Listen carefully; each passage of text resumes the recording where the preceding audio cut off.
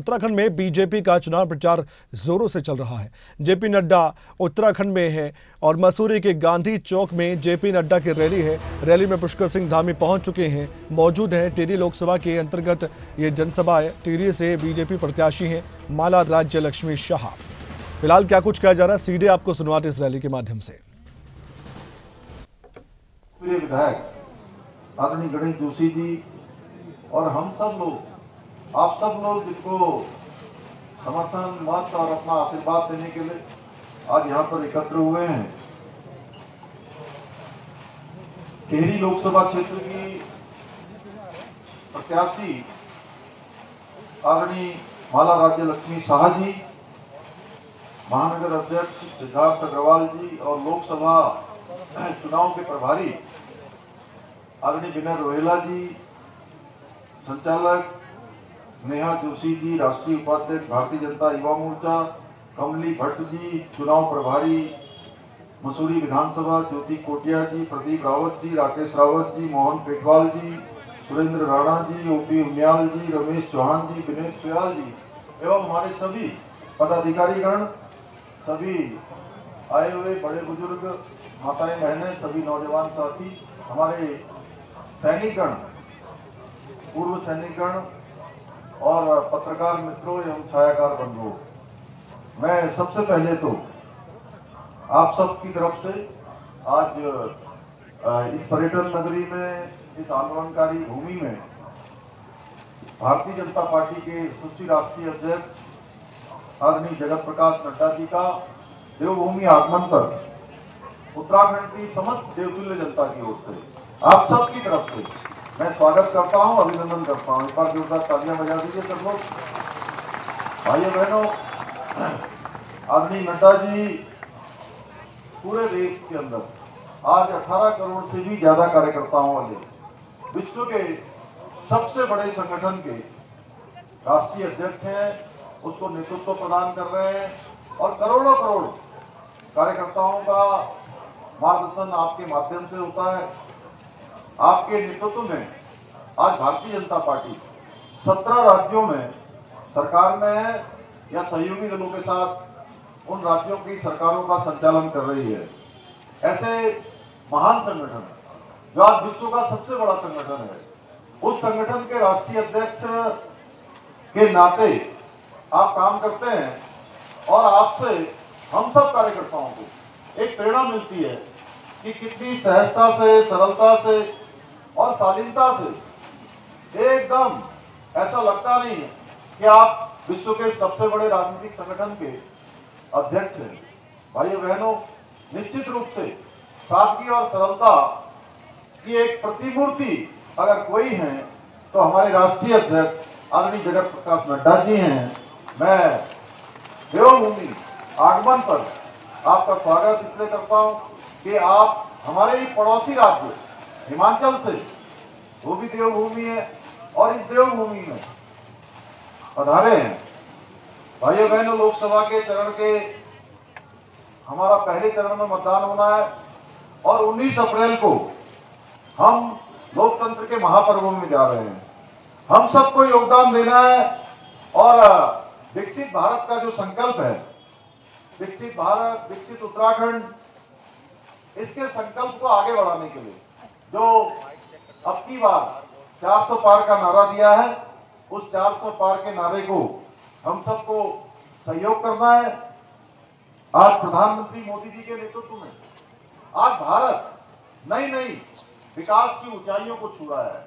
नित नए आयाम स्थापित करने का काम भारत कर रहा है।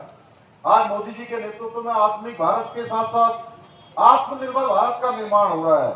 भाइयों बहनों 140 करोड़ देशवासियों को अपना परिवार मानकर, अंत्योदय के लक्ष्य को निर्धारित करके दिन रात थके बिना, रुके बिना लगातार प्रयास कर रहे माननीय प्रधानमंत्री जी। दस सालों तक उन्होंने एक दिन का भी विश्राम नहीं लिया। हर पल और हर क्षण देशवासियों को समर्पित कर दिया। और बहुत सारे निर्णय लिए बहुत सारे काम किए और आप सब जानते हैं कल ही भारतीय जनता पार्टी का राष्ट्रीय अध्यक्ष जी की अध्यक्षता में, माननीय प्रधानमंत्री जी की उपस्थिति में जो संकल्प पत्र जारी हुआ है, बहुत सारे, हर किसी के उदय की बात उसमें की गई है, हर किसी को आगे बढ़ाने की बात की है, महिला हो, गरीब हो, किसान हो, युवा हो, कोई वर्ग ऐसा नहीं है। और साथ साथ में विकसित भारत का भी संकल्प लिया गया है। भाइयों बहनों उत्तराखंड के अंदर भी, हमारी सरकार ने अनेक ऐतिहासिक निर्णय लिए हैं। उत्तराखंड को एक बेहतर और श्रेष्ठ राज्य बनाने का ये निर्णय मार्ग प्रशस्त करेंगे। समान नागरिक संहिता भाजपा के संकल्प पत्र में देश में यूसीसी लागू करने का वायदा किया गया है। और हम 2022 के चुनाव में इसी विधानसभा के चुनाव में जब गए थे, माननीय अध्यक्ष जी के नेतृत्व में, माननीय प्रधानमंत्री जी के नेतृत्व में तो हमने उत्तराखंड की जनता से ये संकल्प रखा था कि उत्तराखंड के अंदर नई सरकार के गठन होते ही हम सबसे पहले कोई काम करेंगे तो उत्तराखंड में समान नागरिक संहिता का विधेयक लाकर उसको पारित करेंगे। भाई बहनों इसलिए खुशी है कि इस बार जो गंगोत्री उत्तराखंड देवभूमि से निकली है, अब वो पूरे देश के अंदर जाने वाली है। मैं आदरणीय अध्यक्ष जी का उत्तराखंड की देवतुल्य जनता की ओर से धन्यवाद करना चाहता हूँ। माननीय प्रधानमंत्री जी का अभिनंदन करना चाहता हूँ। इसके साथ साथ नकल विरोधी कानून इसको भी संकल्प पत्र में स्थान दिया गया है। उत्तराखंड के अंदर हम इसको पहले ही लागू कर चुके हैं। भाइयों, बहनों, हमने लैंड जिहाद पर बड़ी कार्रवाई की है। आप सबको पता है, किस प्रकार का अतिक्रमण होता था, किस प्रकार से कुछ धार्मिक ढांचे खड़े करके हमारी चार हज़ार एकड़ से भी ज़्यादा ज़मीन अभी तक हमने अतिक्रमण से मुक्त करवाई है। लैंड जिहाद के साथ साथ गंगा रोधी कानून हमने बनाया है, धर्मांतरण विरोधी कानून हमने बनाया है। भाइयों, बहनों, ये सब उत्तराखंड किया, जो मूल स्वरूप है, वो मूल स्वरूप न बिगड़े, वो मूल स्वरूप बना रहे, इसका हमने संकल्प लिया है, और उस संकल्प को लगातार हम आगे बढ़ाने का काम कर रहे हैं। पिछले दिनों हमने कहा था कि हम अतिक्रमण हटा रहे हैं, अतिक्रमण हटाने का ये अभियान हमारा जारी रहेगा।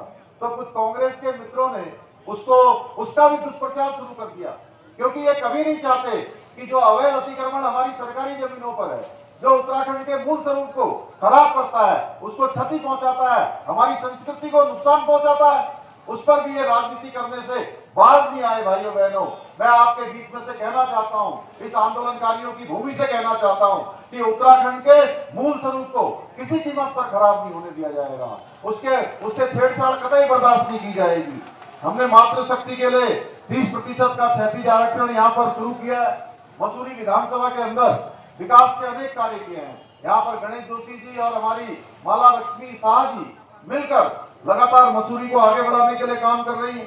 यहाँ के पर्यटन को बढ़ावा देने के लिए यातायात सुगम करने के साथ क्षेत्र के अंदर जो मूलभूत सुविधाएँ हैं, उनके लिए निरंतरता से प्रयास हो रहा है। अभी हाल ही में सत्तर करोड़ रुपए की विभिन्न योजनाओं का यहाँ लोकार्पण, शिलान्यास हुआ है। भाइयों बहनों एक और हमारी मोदी जी की विकास की गारंटी वाली डबल इंजन की सरकार काम कर रही है। वहीं दूसरी ओर भ्रष्टाचारियों और घोटालेबाजों के देश को लूटने की गारंटी वाली कांग्रेस है। इस बार दो विचारधाराओं में लड़ाई हो रही है।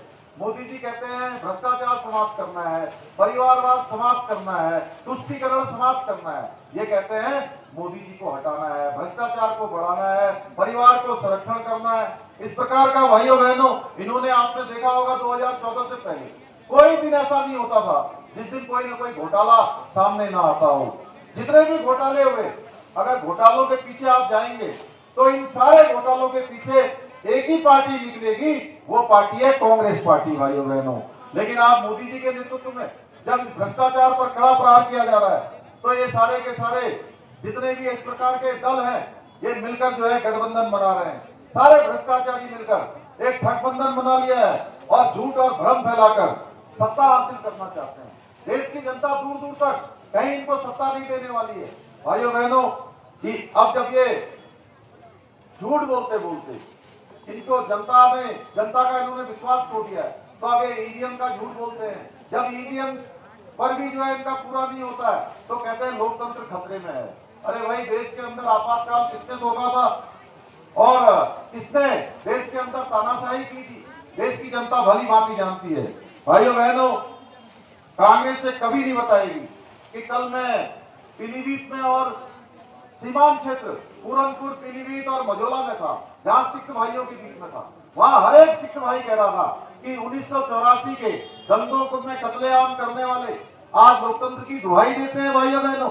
और सत्ता हत्याने के लिए इन्होंने इमरजेंसी लगाकर लोकतंत्र का गला घोटने का काम किया था। कांग्रेस के काले कारनामों की लिस्ट बहुत लंबी है। आज देश में जितनी भी समस्याएँ हैं, उन सब के पीछे कांग्रेस पार्टी है। आज मोदी जी के नेतृत्व में देश के अंदर एक एक समस्या का समाधान किया जा रहा है।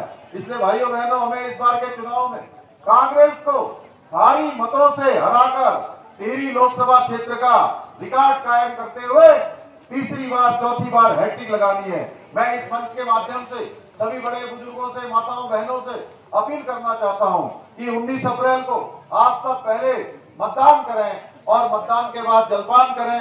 मैं पुनः निवेदन करता हूँ कि माला लक्ष्मी शाह जी को आपका आशीर्वाद चाहिए, आपका समर्थन चाहिए और माला लक्ष्मी शाह जी को विजय बनाकर माननीय प्रधानमंत्री मोदी जी को देश का तीसरा, तीसरी बार प्रधानमंत्री बनाने में अपना योगदान दें। मैं यही निवेदन करते हुए आप सब लोगों से अपील करता हूँ, मेरे साथ ज़ोर से, क्योंकि अध्यक्ष जी को हम सब लोगों को संबोधित करना है। मेरे साथ मुट्ठी बात कर ज़ोर से बोलिए।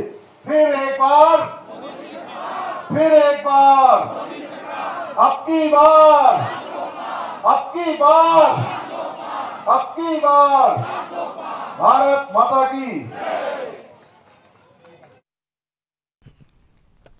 उत्तराखंड के मुख्यमंत्री पुष्कर सिंह धामी का आपने सुना है और उन्होंने बीजेपी की जीत का फिर से दावा किया। जेपी नड्डा को आप देख पा रहे होंगे तस्वीरों में। जेपी नड्डा भी कुछ देर बाद संबोधित करेंगे। बड़ी खबर, बड़ी जानकारी। मुख्यमंत्री ने जनसभा को संबोधित किया। हम पुष्कर सिंह धामी की बात कर रहे हैं। कांग्रेस पार्टी पर सियासी हमला किया।